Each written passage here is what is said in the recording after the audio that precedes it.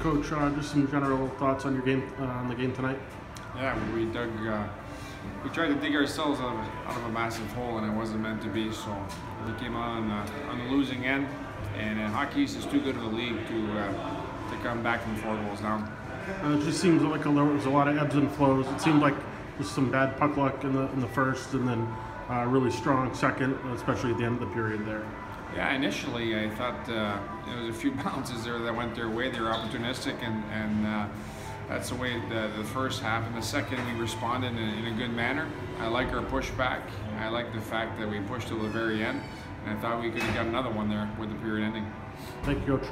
Thank you.